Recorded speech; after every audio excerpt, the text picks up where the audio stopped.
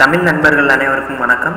இது Tamil tech fusion இன்னைக்கு என்ன பார்க்க போகிறோன்னா அதாவது உங்கள் கம்ப்யூட்டரில் பழைய பாஸ்வேர்ட் தெரியாட்டாலும் புது பாஸ்வேர்டு எப்படி சேஞ்ச் பண்ணது அதை தான் பார்க்க போகிறோம் அதாவது உங்கள் வீட்டில் ஆர் ஆஃபீஸில் யாராவது சிஸ்டத்தை ஓப்பன் பண்ணி தந்துட்டு போயிடுவாங்க பாஸ்வேர்ட் போட்டு ஓப்பன் பண்ணி தந்துட்டு போயிடுவாங்க அந்த டைம் உங்களுக்கு பழைய பாஸ்வேர்ட் தெரியாது.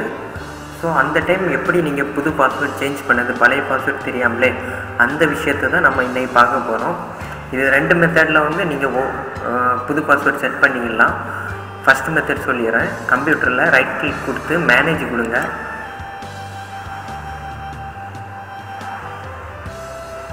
இதில் வந்து லோக்கல் யூசர் அண்ட் குரூப்ஸ்ன்னு இருக்கும். இதை கிளிக் கொடுங்க. கிளிக் கொடுத்துட்டிங்கன்னா யூசர்ஸ் இருக்கும். அதை கிளிக் கொடுங்க. கொடுத்துட்டு அட்மினிஸ்ட்ரேட்டர்ஸில் ரைட் சைட் கிளிக் பண்ணி செட் பாஸ்வேர்டு கொடுத்து ப்ரொசீட் கொடுங்க. கொடுத்துக்கிட்டு இதில் நியூ பாஸ்வேர்ட் டைப் பண்ணுங்கள் கன்ஃபார்ம் பாஸ்வேர்ட் கொடுத்து ஓகே கொடுத்துட்டிங்கன்னா உங்களுக்கு புது பாஸ்வேர்டு வந்து செட் ஆகிடும் இந்த மெத்தடில் நீங்கள் வந்து பழைய பாஸ்வேர்ட் போட தேவையில்லை.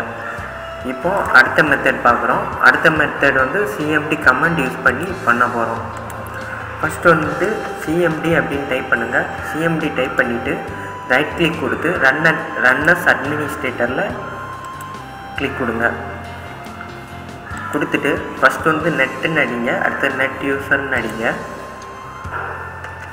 எல்லாமே ஸ்மால் லெட்ரு அடுத்து வந்து நெட் யூசர் டைப் பண்ணுங்கள்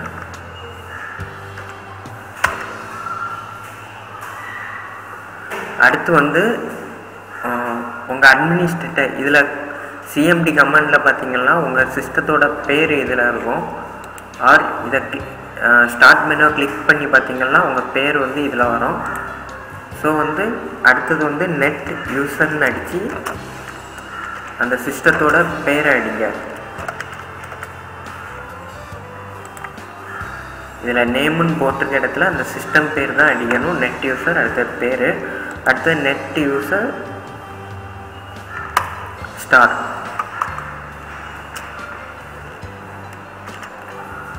அடிச்சுட்டு என்ட்ரு கொடுங்க. இப்போ வந்து டைப்பே பாஸ்வேர்டுன்னு கொடுக்கும்.